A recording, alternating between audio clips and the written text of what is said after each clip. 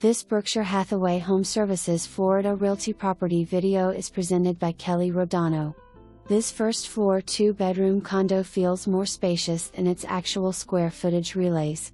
Light and bright with all tile flooring. There is an interior washer and dryer in the hallway closet, a screened porch through the glass slider doors at the kitchen which extends the space, brings in natural light and provides extra storage.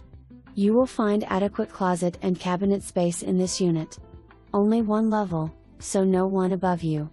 Located in beautiful and quaint Indialantic, yet quite near grocers, shops and delicious restaurants.